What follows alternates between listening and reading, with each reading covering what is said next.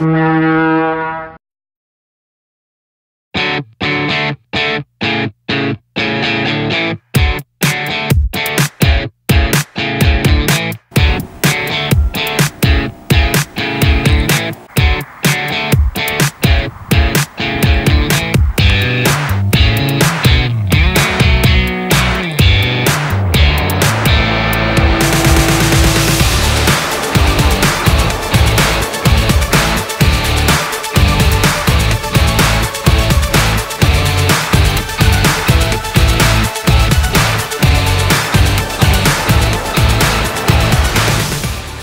Цандрипш – небольшой приграничный поселок в Абхазии. До границы с Россией здесь всего 5 километров, поэтому это место популярно среди тех, кто только начинает знакомство с регионом и готовится забраться вглубь горной республики.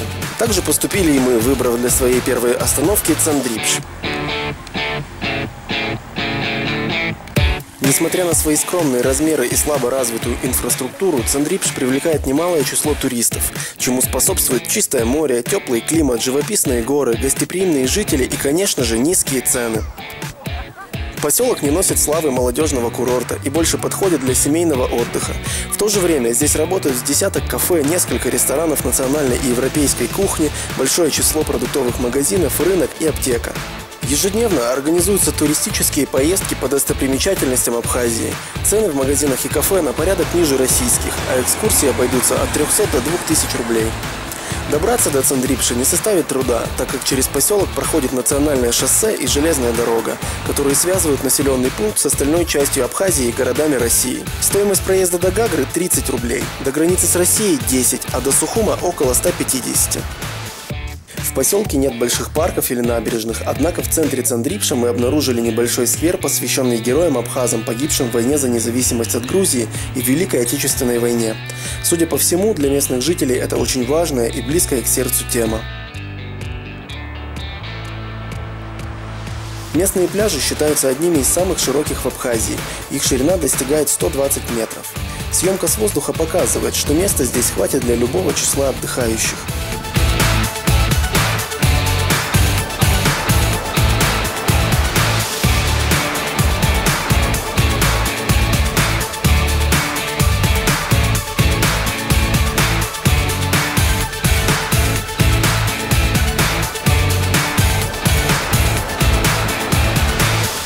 Сам пляж покрыт мелкой и средней галькой и благодаря своим просторам никогда не забит битком. В километре от поселка расположен известный на всю республику пляж Белые скалы, который образовался благодаря выходу горных пород белого мрамора прямо к берегу моря. Об этом мы решили снять отдельный обзор. У поселка богатая история, что подтверждают сохранившиеся памятники прошлого.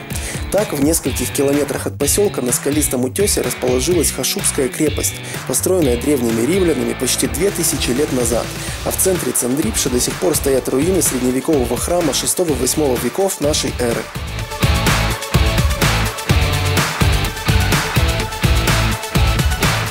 Среди самых популярных мест в окрестностях Цандрипша можно выделить каньон реки Хашупсе.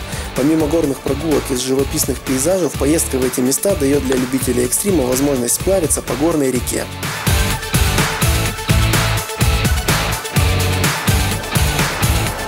Само русло реки проходит через центр Цандрипша и часто пересыхает, позволяя прогуляться по своему каменистому дну. Пройтись по дну высохшей реки решили и мы. Кроме того, мы решили подняться на одну из местных вершин без помощи экскурсоводов. Мы находимся на дне высохшей речки в поселке Цандрипш в Абхазии и сейчас попробуем подняться на одну из тех гор самостоятельно.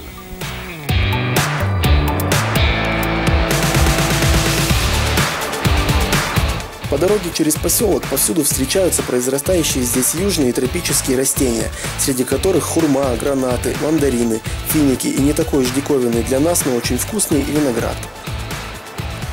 Мы дошли до центральной улицы Цандрипша и сейчас будем подниматься вон на те полянки. У подножия горы нам пришлось проникнуть на огороженную территорию, что в принципе не запрещается, так как эта же дорога ведет на пасеку.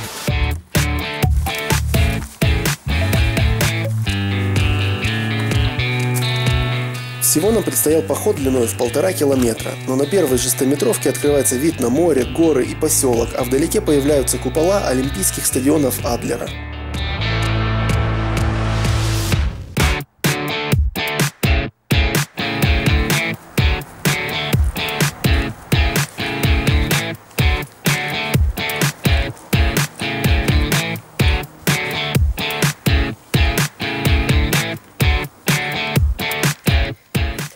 Поднимаясь, нам повстречались не только вековые сосны и дубы, тысячи неизвестных насекомых, но и следы человека, в прямом смысле этого слова.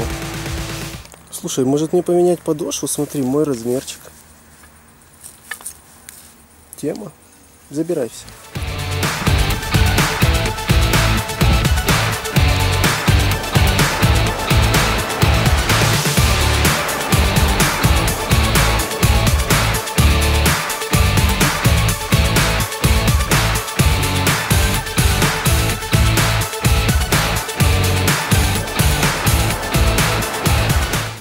Мы поднялись на одну из вершин рядом с поселком Цандрипш. Он расположен э, вон там внизу. Отсюда отличный вид на него открывается.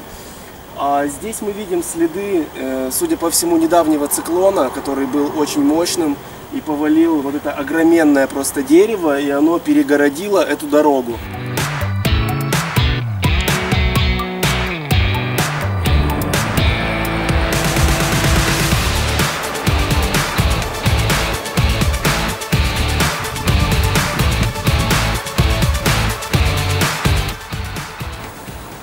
Попробуем забраться еще дальше.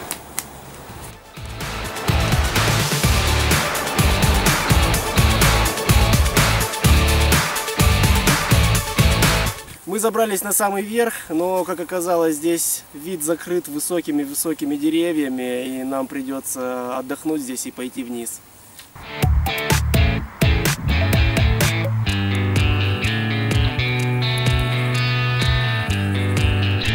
Попробуем снять сверху, что здесь расположено, с помощью дрона.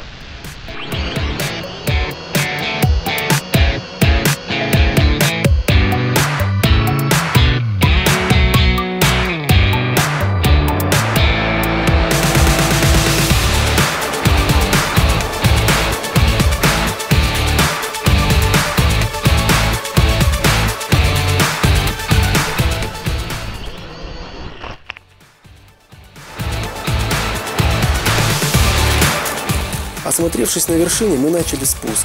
Это намного легче, чем подниматься, но не менее опасно. Поэтому если решитесь погулять в горах, будьте внимательнее и берегите себя. Это был канал «Взял и поехал». Приятных вам путешествий по Абхазии. Пока.